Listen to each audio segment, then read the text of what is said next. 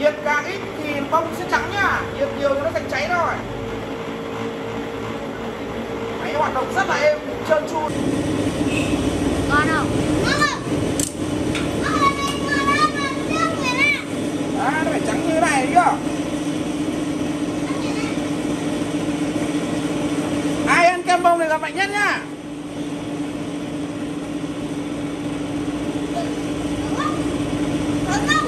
Sửa rất nhiều kem luôn.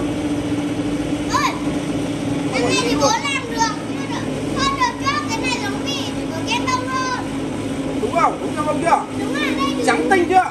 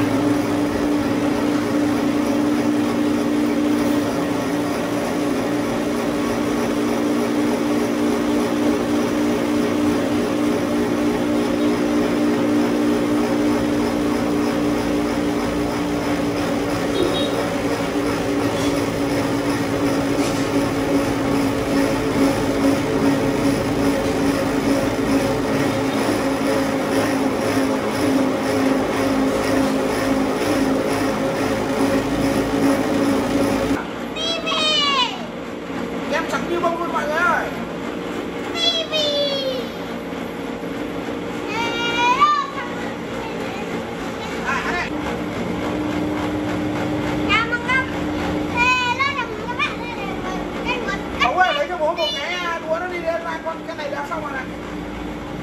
Lấy cái đũa nữa thì mới nổi được.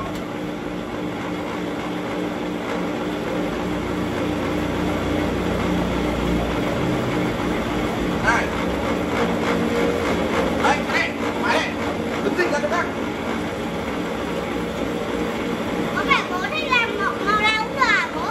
Thích màu gì cũng được màu đấy màu vàng cho nhiều lửa lên. Còn thích màu trắng thì cho ít lửa đi có gì đâu. À.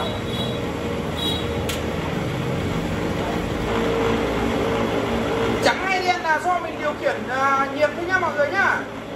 Nhiệt càng ít thì bông sẽ trắng nhá nhiệt nhiều thì nó thành cháy thôi máy hoạt động rất là êm trơn tru rồi đấy. Ok rồi. Cấu tạo rất đơn giản thôi vòng đi tâm Chí đâu? Em Chí đây. Cháu xin bác. Ok. À mẹ yến ơi à, ơi.